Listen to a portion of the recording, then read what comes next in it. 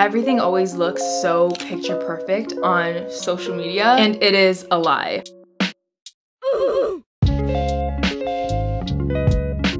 And I'm telling you this as someone who does social media as their full-time job. Social media is not real life. And I think that's something we hear a lot, but okay, what does that really mean? Let me break this down for you. I was looking at my own social media pages and trying to look at it from an outside perspective, and I found myself literally comparing myself to myself. It doesn't make sense. There's a few lessons to be learned here. One, comparison is the thief of joy. Two, you can't compare yourself to people on social media because you never know what they're really going through and people only post their perfect moments online. So of course you're gonna think their life is perfect when they're posting their perfect moments. And three, I realized that I haven't been prioritizing myself, my mental health, my physical health for a while and now is the time that I change that.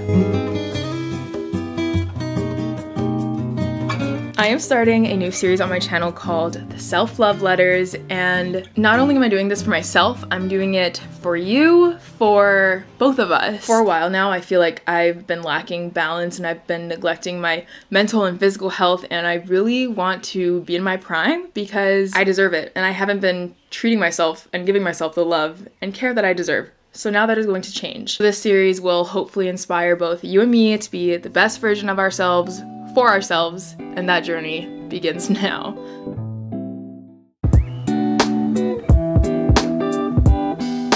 Today is the day I finally follow through on the commitment that I made to myself that I'm going to do better, to be better. I feel like for a while now, I've had so many off days in a row and I was trying to figure out why is that happening. And then last night I had this realization that the power is literally in my hands. No one can do it for me. I'm gonna have to do the work myself if I have a goal and have a place in mind that I see myself at. And I've just been feeling so off really unmotivated, just I don't know, not really wanting to do anything. And I feel like I can be treating myself a lot better than I am. And I feel like I owe that to myself. And I want to be the best version of myself. I don't think there's a single place per se where it's like once you've reached this point, you're the best version of yourself. I think you're constantly reinventing yourself and becoming better. But I don't know, I just have been feeling off lately. And I know that I can do better and I want to feel better. I want to uh, give my body, give myself the love it deserves. So I'm starting today. Today's actually a sun. Wait. Today's a Tuesday. I have no perception of time. Today's a Tuesday, which is kind of a random day to start, you know, a fresh start. I feel like typically when people have goals, they're like, oh, I'll wait till Sunday or Monday, whatever the start of the week is. I was like, I don't want to wait another week. It's a Tuesday, it's the start of a new day. Even if it's the middle of the day and you have this realization of something you want to change or do, start now. That is my advice. Start now. And that is what I'm gonna do. I'm gonna take my own advice, and today's the day I start.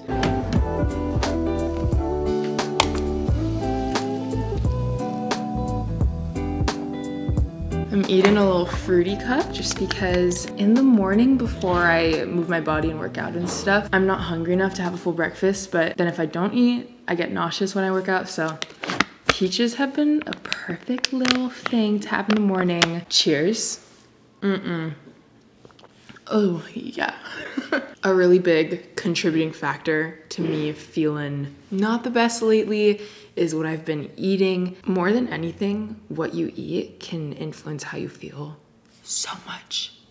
So much. And I haven't really been having a balanced intake of food. So, I've not been thriving. If I put a bunch of crap in here, I feel like crap. Basically, we're doing a huge home reno, my parents are. So for the last month, we haven't had a kitchen. So we've been eating takeout a lot and we have nothing to cook on. We didn't have any appliances for a while. We still don't. So I'm trying to figure out how to keep my balance there. It's just been hard, so inconvenient to try and make something here that I've just been like, oh, let's go get food somewhere else. And that in moderation is fine, but it's just been so constant and for so long that I'm starting to feel it. So I'm gonna do my body a favor, myself a favor, and get back on track. And it starts with this peach cup.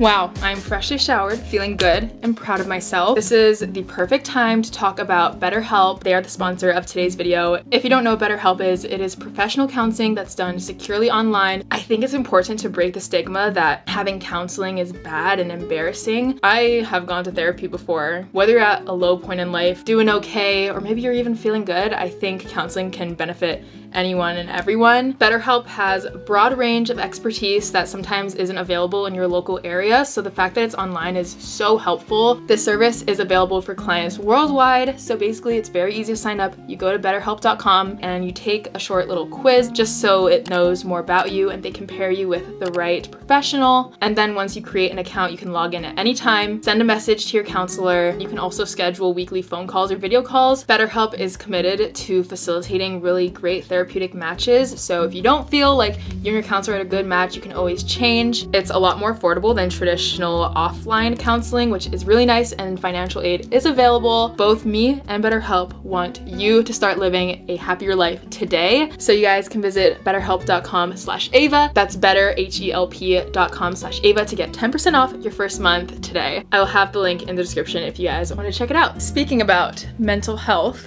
comment down below how you're doing. I will be reading the and responding to you guys. I want my channel to be a safe space for you if you want to talk and have something you want to get off your chest. So while you're commenting about how you're doing, I will tell you how I'm doing. The last few weeks have not been it for me, and it's so strange because I think on social media, you would never know. It's definitely been a weird adjustment moving forward with COVID as things get better. And you know, friends are wanting to hang out more, there's more social events, and I sometimes do not do well socially. There's literally been times that like I will have a little panic attack and start crying and get really overwhelmed even if it's with people I know. So that's kind of been a little weird adjustment as things open up and friends are hanging out and wanting me to come. It's weird because I always want to be there nah, it's weird because, you know, I want to be there and hang out with my friends, but sometimes I just get so overwhelmed. So that's kind of been one thing. And another thing that I've been trying to work through is this mental block of getting back on track. It's hard because I have like these goals in mind and I want to be the best and healthiest version of myself. It's not about losing weight or anything like that. It's being healthy and treating my body the way it deserves to be treated. I just haven't been doing myself justice. I don't know, it's been very hard for me to work out lately. I just haven't been motivated at all. And I think a really big mental block I had was that I just had this envisionment of where I want to be.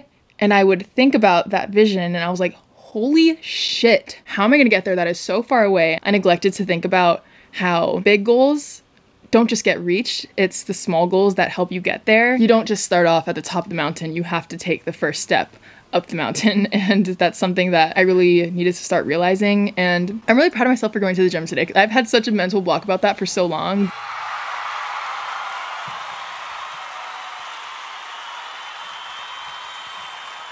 I owe it to myself. I'm making this promise to myself that I will treat my body with love and care for it because I want to be in my prime. I'm 20 years old. I'm going to be in my prime. I, I am in my prime. And it's time to start acting like it. So there's that. Also, my mood has just been kind of down lately and not really for any specific reason, which makes it hard because if you can target a reason, you can kind of work through it. But when you don't know why you're feeling down, you're like mad at yourself for feeling down and it just gets very confusing. So, yeah, I've been trying to figure all of that stuff out. And usually on social media, I'm not gonna, you know, make an Instagram post and be like, eh, feeling like shit. so that's why I'm talking about it in this video. I'm excited over the next few months to do this series and hopefully have you along for the ride if you've been feeling the same and if you feel like you've been wanting to change your life. That's very dramatic. It's the little changes that can change your life and we're starting small. I think what's really going to be it for me is the daily habits that add up because it's not like one day I'm just going to wake up and everything's going to be perfect. No, we have to we have to take the steps to get there. So, I don't know if any of that made sense. It probably didn't. I'm very hungry. Let's go eat some lunch. I'm going to this place called Aloha Salads, which honestly is one of the very, very few healthy places near where I live, which kind of sucks. And that's why it's so easy to just go somewhere quick that's not necessarily healthy. Here's the thing things are okay in moderation, but I've just been not in a good groove with food. Like I was saying before, food is our body's fuel and depending on what you put in your body, it's kind of gonna affect how you feel. I'm very excited to have our new kitchen at the house because I miss cooking my, yeah, they're very simple meals because I don't really know how to cook But I miss making my eggs, my what else can I even make? I just miss having my healthy breakfast and being able to make myself lunch. Actually, I didn't really make myself lunch. My mom usually makes me lunch. Again, perks of living at home. I've just been saying this to myself for so long that I'm gonna start eating healthy and drinking more water because I've been drinking a lot of juice lately. You know when you've been eating not the best for days and days and days in a row and you keep promising yourself that tomorrow's gonna be different? I've been doing that for so long and now is the time I finally change that. And I'm honestly really excited because I know I'm gonna feel good. Wow. Amazing. Fun fact, I'm Caesar salad girl till I die. I love Caesar salad. My mantra that I am looking to incorporate more into my life starting now is balance. I feel like in so many areas of life, social life, work life, personal life, balance is important to everything. Balance with what I eat, because while I do want to start eating more healthy, I will absolutely have a cookie and a brownie if I want to because that's what balance is. I think sometimes what gets lost in translation when people are like, oh, I want to start living more of a healthy lifestyle. It's like, okay, well, you can never eat cake again. Wrong. That's the mindset that I used to have, and restricting myself like that was no good. I found myself eating more crap than normal just by having that mindset because I felt ravenous for it. So I'm learning to listen more to my cravings, although I crave cookies every day of my life. That's not the point here. I can have a healthy lifestyle while still enjoying what I eat. Yeah, time to chow down on some Caesar and I am ready.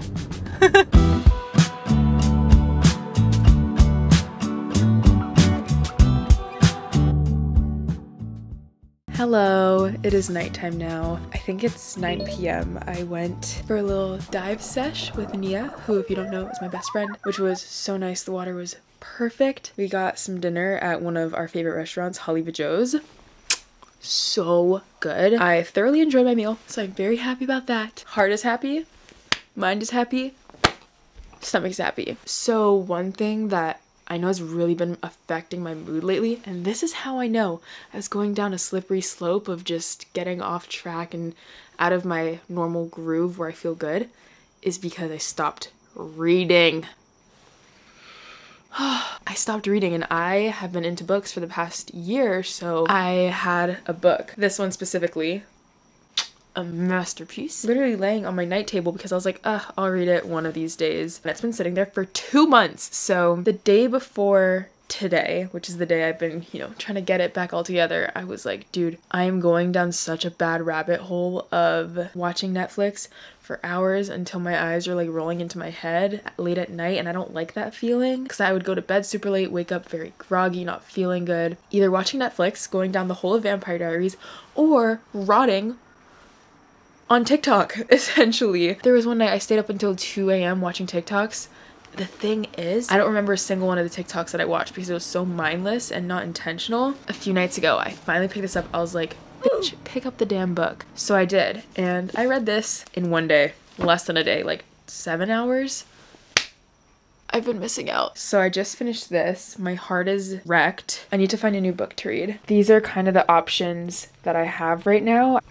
Let's see. Think I'm gonna do this one. I've been meaning to read this one for so long. I think I'm finally gonna start it tonight.